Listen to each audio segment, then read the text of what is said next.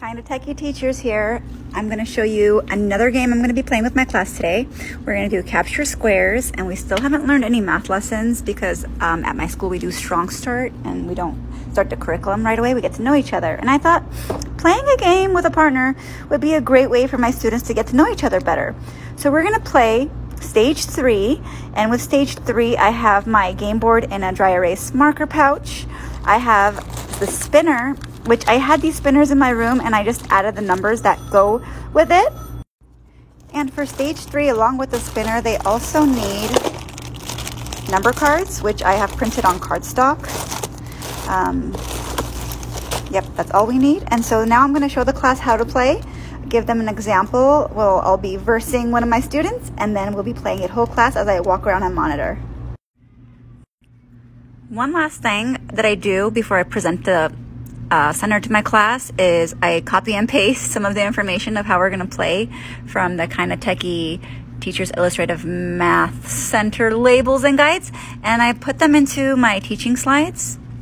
That way, when I present it to the class, they could see it nice and clear on my big whiteboard, what the game board looks like, how to play, what are the pieces that are going to go with their game. Because once they get used to what goes with it, in the future, I won't have to do this, and they'll just be able to grab the bucket and get started.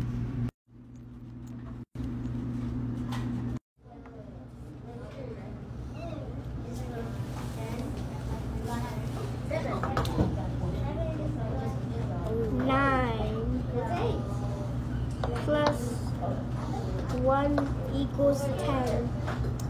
But there is no 10, so go 10. 9. Oh, wait. Put it underneath. 6. 15. A crystal.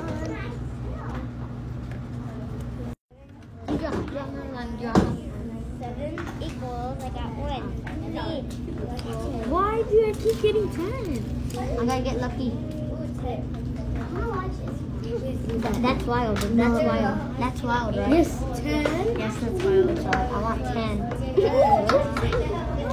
oh, I thought this was infinite. Eighteen. Eighteen. Yes. What number is it? How come? Are you selling me? like a monkey.